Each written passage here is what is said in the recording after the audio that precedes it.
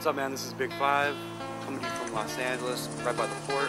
It's my tattoo shop, Union Electric Tattoo. Come on in and take a look. Gotta love the trains.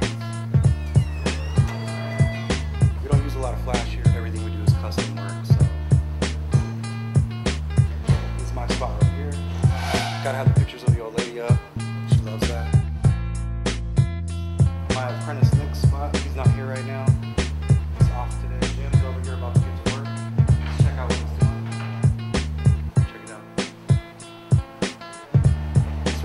Schibber, AWR MSK.